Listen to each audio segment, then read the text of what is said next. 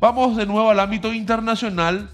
Josué Colmán, estaba jugando en el Mazatlán, y a propósito de muy buen rendimiento, tuvo muy buen rendimiento en la temporada 2023 Josué Colmán, y ahora estaría pasando a un equipo importante también del fútbol mexicano, es decir, que se quedará en tierras mexicanas.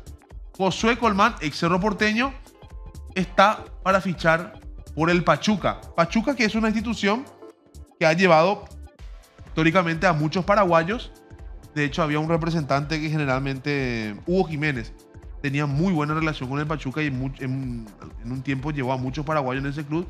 Bueno, finalmente ahora la oportunidad de vestir la camiseta del Pachuca la tiene este muchacho, Josué Colmán, que el último equipo en la que jugó en Paraguay fue Guaraní y después de Guaraní pasó al Mazatlán. Un jugador habilidoso, un jugador con buenas cualidades técnicas, jugador dinámico que puede aportar muchísimo, por supuesto. Es un jugador interesante para cualquier equipo. Y si es que demostró un buen nivel en el Mazatlán, ¿por qué no hacerlo mucho mejor aún?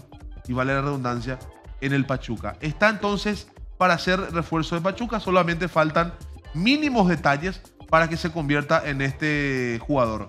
Reitero, Josué Colmán muy cerca de fichar por el Pachuca de México.